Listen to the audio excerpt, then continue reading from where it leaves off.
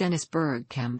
Dennis Nicolaas Maria Bergkamp is a Dutch former professional footballer, who until December 21, 2017 was the assistant manager at Ajax. Originally a wide midfielder, Bergkamp was moved to main striker and then to second striker, where he remained throughout his playing career. Bergkamp has been described by Jan Mulder as having the finest technique of any Dutch international and a dream for a striker by teammate Thierry Henry. The son of an electrician, Bergkamp was born in Amsterdam and played as an amateur in the lower leagues. He was spotted by Ajax at age 11 and made his professional debut in 1986. Good form led to an international call-up with the Netherlands a year later, attracting the attention of several European clubs. Bergkamp signed for Italian club Inter Milan in 1993, where he had two disappointing seasons. After joining Arsenal in 1995, he rejuvenated his career, helping the club to win three Premier League titles, four FA Cup trophies, and reached the 2006 UEFA Champions League final, which marked his last appearance as a player. With the Netherlands national team, Bergkamp surpassed Faas Wilkes's record to become the country's top goal scorer of all time in 1998, a record later eclipsed by Patrick Kluivert, Robin van Persie and Klaas-Jan Huntelaar. Widely regarded as one of the greatest players in his generation, Bergkamp finished third twice in the FIFA World Player of the Year award and was selected by Pele as one of the FIFA 100 greatest living players.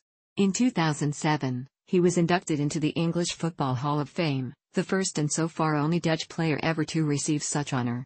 Due to his fear of flying, Bergkamp has been affectionately nicknamed the non-flying Dutchman by Arsenal supporters. In 2017, Bergkamp's famous goal against Newcastle United was voted as the best Premier League goal of all time in the league's 25-year history. Born in Amsterdam, Bergkamp was the last of Wim and Tony Bergkamp's four sons. He was brought up in a working-class suburb, in a family aspiring to reach middle-class status. His father, an electrician and amateur footballer in the lower leagues, named him in honor of Scottish striker Dennis Law. To comply with Dutch given name customs, an extra N was inserted in Bergkamp's first name by his father after it was not accepted by the registrar. Bergkamp was raised as a Roman Catholic by his family and regularly attended church during his childhood. Although in later years he said visits to church did not appeal to him, Bergkamp still maintains his faith. According to Bergkamp, his childhood footballing hero was Glenn Hoddle, whom he admired for his soft precise touch. Bergkamp was brought up through Ajax's youth system, joining the club at age 11. Manager Johan Cruyff gave him his professional debut on 14 December 1986 against Roda JC. The match ended in a 2-0 victory for Ajax. Bergkamp scored his first senior goal for the club against HFC Haarlem on 22 February 1987 inches a match Ajax won 6-0. He went on to make 23 appearances in the 1986-87 season, including a European debut against Malmo FF in the 1986-87 European Cup Winners' Cup, earning him praise. Ajax won the competition, beating Lokomotiv Leipzig 1-0 as Bergkamp made an appearance as a substitute. In later seasons, Bergkamp established himself as a first-team player for Ajax. This culminated in a period of success for the club, which won the Eredivisie title in the 1989-90 season for the first time in five years. Bergkamp scored 29 goals in 36 matches the following season and became the joint top goalscorer in the league, sharing the accolade with PSV striker Romario. Ajax won the 1992 UEFA Cup final, beating Torino through the away goals ruling. They then defeated Heerenveen 6-2 in the final of the KNVB Cup on May 20, 1993. Bergkamp was the top scorer in the Eredivisie from 1991 to 1993, and was voted Dutch Footballer of the Year in 1992 and 1993. In total, he scored 122 goals in 239 matches for his hometown club. Bergkamp attracted the attention of several European clubs as a result of his performances for Ajax. Johan Cruyff advised him not to join Real Madrid, one of the teams said to have been interested in him. But Bergkamp was insistent on playing in Italy. He considered Serie A the biggest league at the time and preferred a move to either Juventus or Inter Milan. On February 16, 1993, Bergkamp agreed a £7.1 million move to the latter club in a deal which included his Ajax teammate Wim Jonk. Upon signing, Bergkamp said in term at all my demands. The most important thing for me was the stadium, the people at the club and their style of play. Bergkamp made his debut against Reggiana on August 29, 1993 at the San Siro in a 2-1 victory. He scored his first goal for the club against Cremonese in September 1993 but had a difficult time against the highly organized and resolute Italian defenses, scoring a further seven goals in the league. This was partly due to manager Osvaldo Bagnoli's inability to find a stable forward partnership, preferring Bergkamp in a three with Ruben Sosa and Salvatore Schillaci. Inter's poor league form culminated in the sacking of Bagnoli in February 1994 and his replacement by Gianpiero Marini a member of Italy's 1982 FIFA World Cup winning squad. The club finished 13th in Serie A, one point away from relegation, but enjoyed success in the UEFA Cup, beating Austria Salzburg in the final over two legs. Bergkamp was the competition's joint top goalscorer with eight goals and scored a hat-trick against Rapid Bucharest in the first round. In Bergkamp's second season at Inter, the club changed managers again, appointing Ottavio Bianchi. Bergkamp endured a disappointing campaign, troubled with stress injuries and fatigue from the 1994 World Cup. He managed to score five goals in 26 appearances. Off the field, Bergkamp's relationship with the Italian press and fans became uncomfortable. His shy persona and his propensity to go home after matches was interpreted as apathy. Because of his poor performance on the pitch, one Italian publication renamed their award given to the worst performance of the week, L'Asino della Settimana de Bergkamp della Settimana. Inter ended the league season in sixth position and failed to retain the UEFA Cup, with the club eliminated in the second round. In February 1995, the club was purchased by Italian businessman and fan Massimo Moratti, who promised to invest heavily in the squad.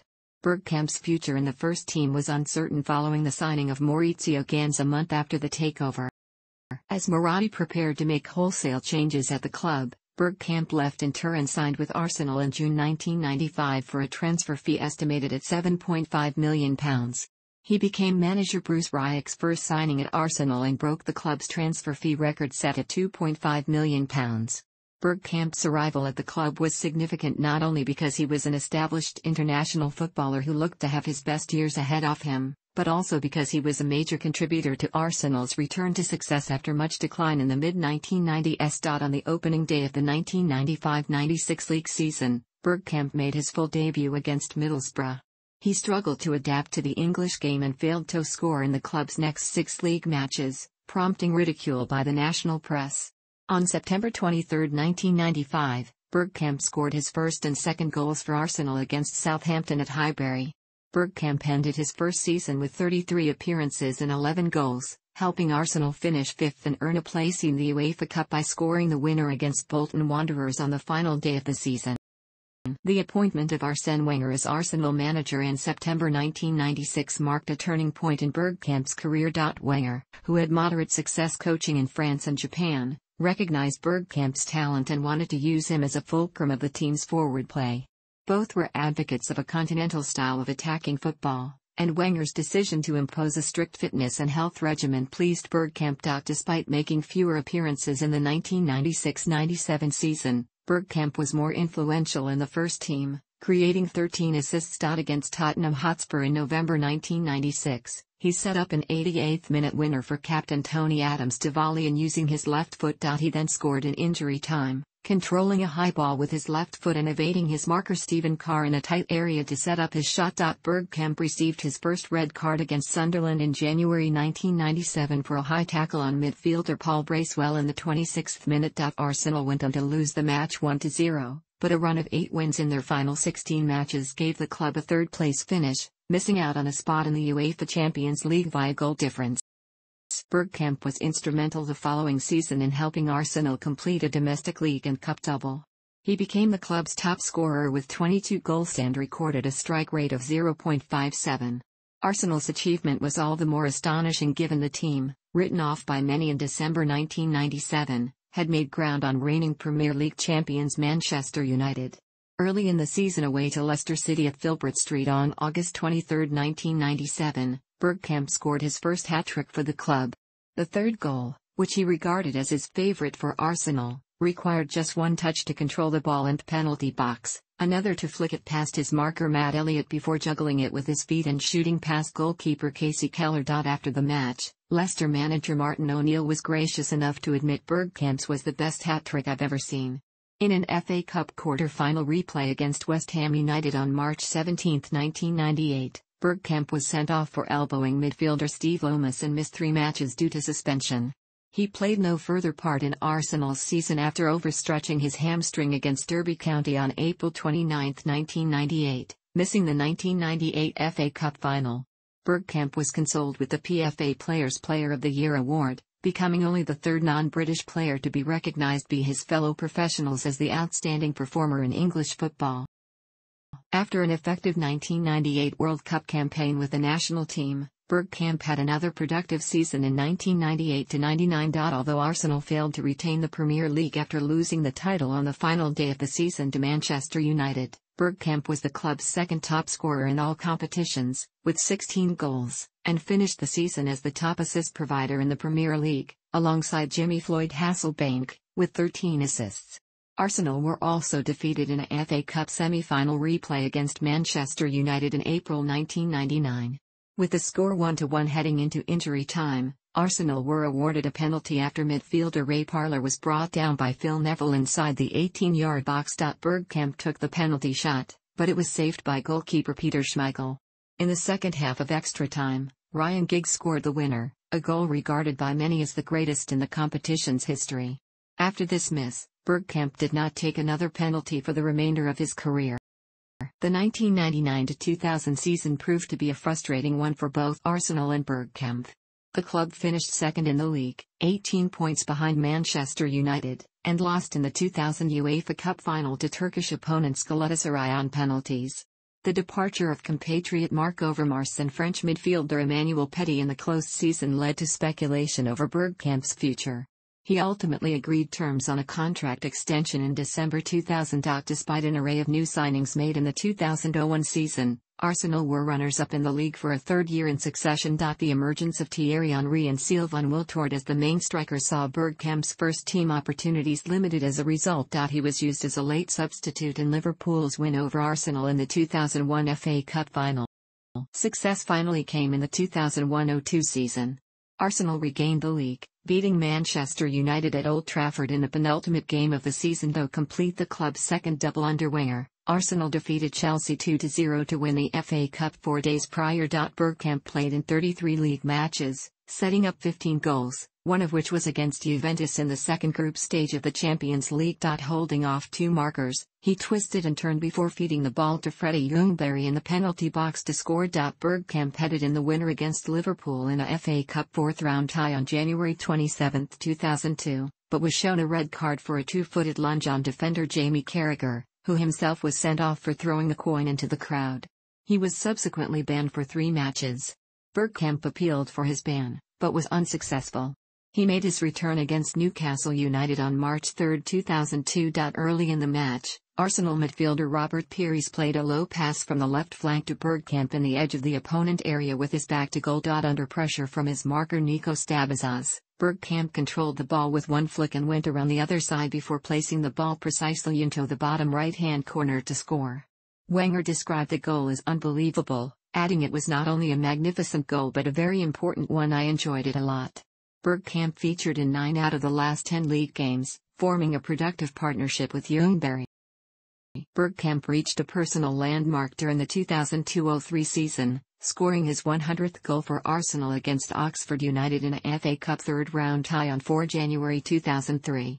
In the league, Arsenal failed to retain the championship despite having led by 8 points in March 2003. However, they did win the FA Cup for a second successive year, beating Southampton in the 2003 FA Cup final. On July 20, 2003, Bergkamp signed a one-year extension at the club. The 2003-04 season ended on a high point for Bergkamp as Arsenal reclaimed the league title, becoming the first English team in more than a century to go through the entire domestic league season unbeaten. Against Leicester City in the final league match of the campaign with the score tied at 1-1, Bergkamp set up the winner with a pass to captain Patrick Vieira. Vieira rounded the goalkeeper and scored. The team, dubbed the Invincibles did not achieve similar dominance in Europe. Arsenal were beaten by Chelsea in the quarter-finals of the Champions League over two legs. Bergkamp committed himself to Arsenal at the end of the season, signing a further extension to his contract. Bergkamp started in 29 league matches in the 2004-05 season, but Arsenal's title defense ended unsuccessfully. The team finished second, 12 points behind Chelsea. At home against Middlesbrough on August 22, 2004, Bergkamp acted as captain for the injured Vieira in a match where Arsenal came back from 1-3 down to win 5-3 and equal Nottingham Forest's record of 42 league matches undefeated. Against Sheffield United in the FA Cup on 19 February 2005, Bergkamp was shown a straight red card by referee Neale Barry for shoving defender Danny Cullip. His appeal of the decision was rejected by the Football Association, meaning he missed the club's next three domestic games. In Arsenal's final home match of the season, against Everton, Bergkamp had a man of the match game, scoring once and assisting three of the goals in a 7-0 win. Bergkamp was moved by Arsenal supporters chanting one more year, describing it as quite special. They obviously feel there is another year left in me, so that's great as it shows they're really behind me, he said. Following Arsenal's penalty shootout victory over Manchester United in the 2005 FA Cup final, he signed a one-year contract extension. The team finished fourth in the league in Bergkamp's final season at Arsenal. Bergkamp scored an injury time winner against Thun on matchday one of the Champions League, having come on as a substitute in the 72nd minute. After much campaigning from Arsenal supporters, the club designated one of its Highbury matchday themes, organized to commemorate the stadium's final season as home of Arsenal, to Dennis Bergkamp.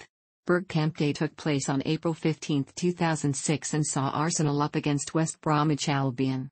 It celebrated the player's contribution to Arsenal. Fans were given commemorative orange DB10 t-shirts, the color of his national team, his initials and his squad number. Bergkamp himself came on as a second-half substitute and set up the winning Robert Pires goal moments after Nigel Quashie had leveled the scoreline. Fittingly, Bergkamp's 89th-minute goal proved to be his last for Arsenal in competitive football. Bergkamp was an unused substitute in his final match for Arsenal against Barcelona in the Champions League final. Barcelona scored twice in the last 13 minutes to overturn Arsenal's early lead and win the competition. Bergkamp was the focus of the first match at Arsenal's new ground, the Emirates Stadium. On July 22, 2006, a testimonial was played in his honor at the new stadium as Arsenal played his old club Ajax.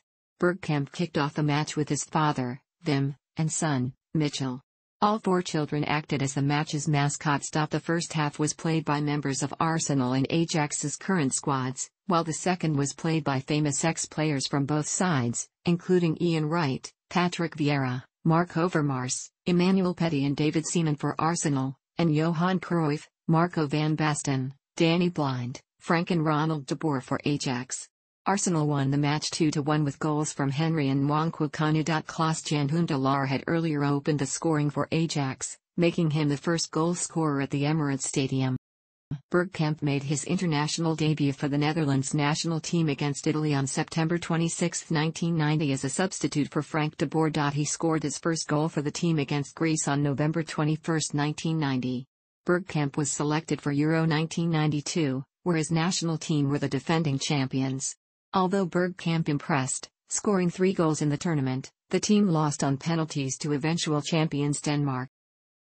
In the qualification for the 1994 FIFA World Cup, Bergkamp scored five goals and was selected for the finals, staged in the United States. He featured in every game for the national team, getting goals against Morocco in the group stages and the Republic of Ireland in the round of 16. Bergkamp scored the second goal for the Netherlands against Brazil, but the team lost 3-2, exiting in the quarter-finals. At Euro 1996, Bergkamp scored against Switzerland and set up striker Patrick Kluivert's consolation goal against England, who advanced into the quarter-finals.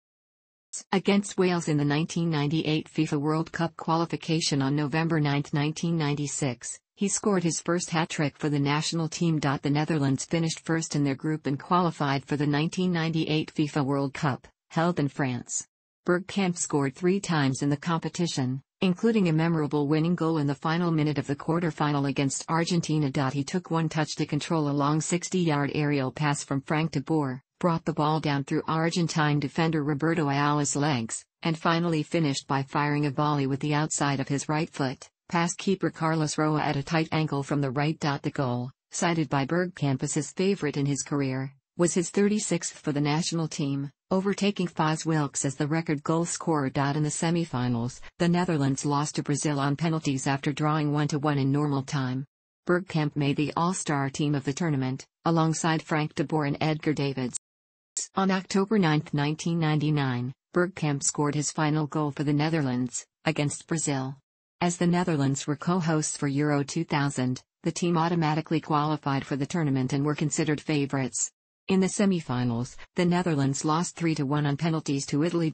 Following the defeat, Bergkamp announced his retirement from international football, choosing to focus on his club career. His final goal tally of 37 goals and 79 appearances was overtaken by Patrick Kluivert in June 2003. Bergkamp was schooled in total football, a playing style and philosophy which relied on versatility. This was primarily to maximize the footballer's potential. Players tried out every outfield position before finding one that suited them best. Every age group at Ajax played in the same style and formation as the first team, 3-4-3, to allow individuals to slot in without effort when moving up the pyramid. Bergkamp played in every position apart from goalie and believe it benefited from the experience of playing as a defender, as it helped him know how they think and how to beat them. When he made his debut as a substitute against Roda JC, Bergkamp was positioned on the right wing, where he remained for three years. During his time at Inter Milan, Bergkamp was switched to the position of a main striker, but failed to cooperate with his offensive partner Ruben Sosa, whom he later called selfish.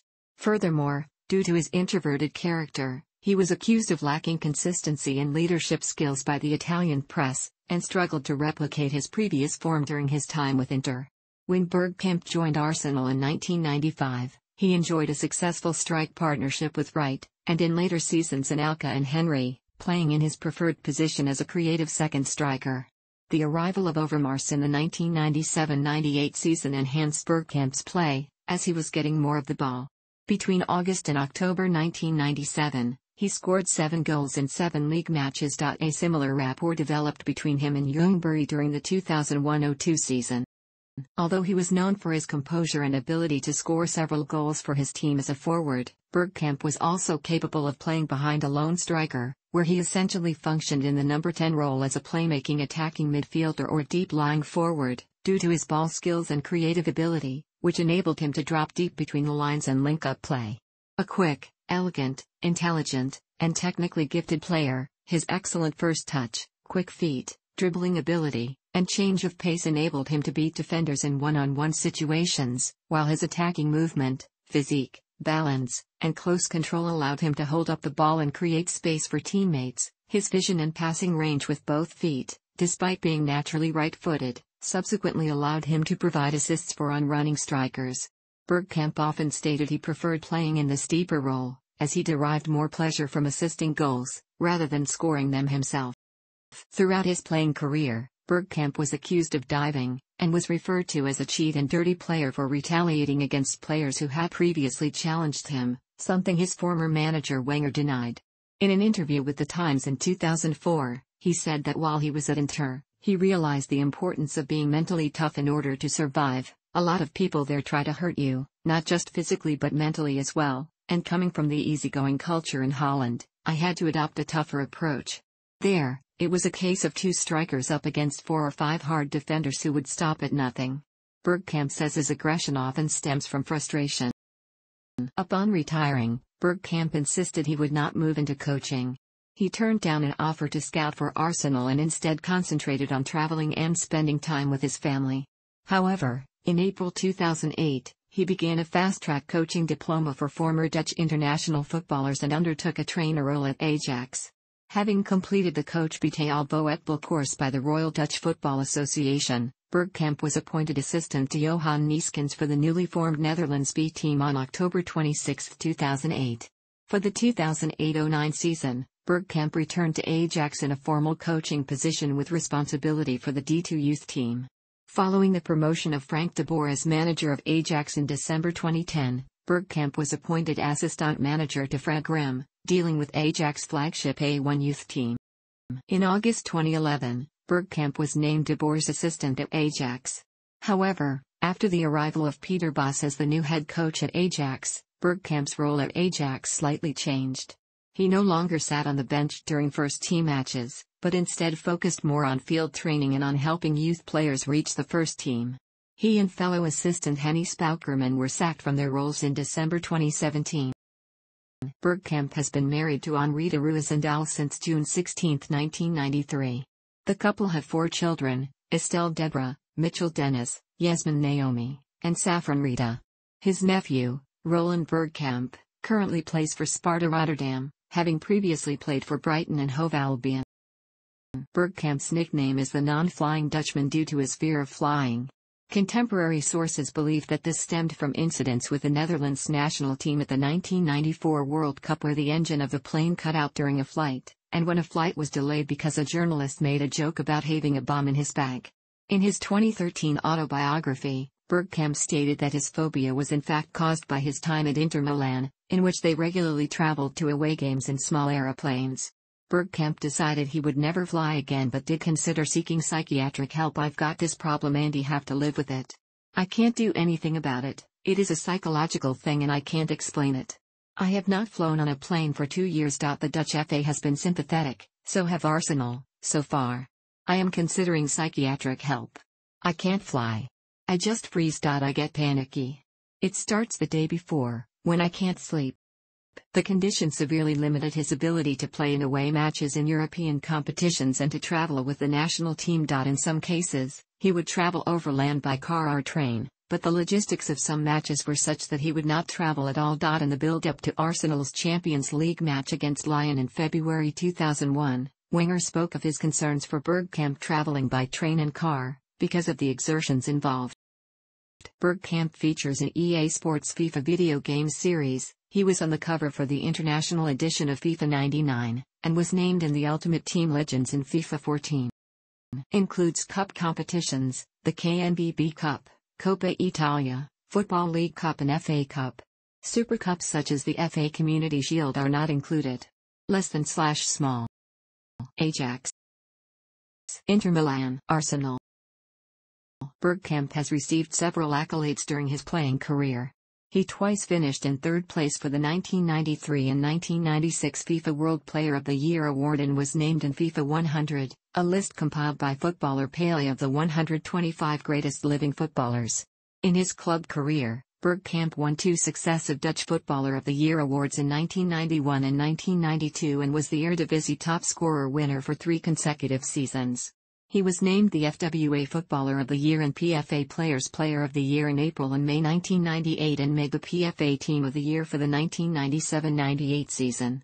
Bergkamp also achieved a unique feat in being voted first, second and third on Match of the Day's Goal of the Month competition in August 1997. For his national team, Bergkamp was the top goal scorer at Euro 1992 and was selected in the FIFA World Cup All-Star team for the 1998 World Cup. In April 2007, Bergkamp was inducted into the English Football Hall of Fame by viewers of BBC's Football Focus. A year later, he was voted second by Arsenal fans behind Thierry Henry in a list of the 50 Gunners' greatest players. In February 2014, Arsenal unveiled the statue of Bergkamp outside the Emirates Stadium to honor his time at the club.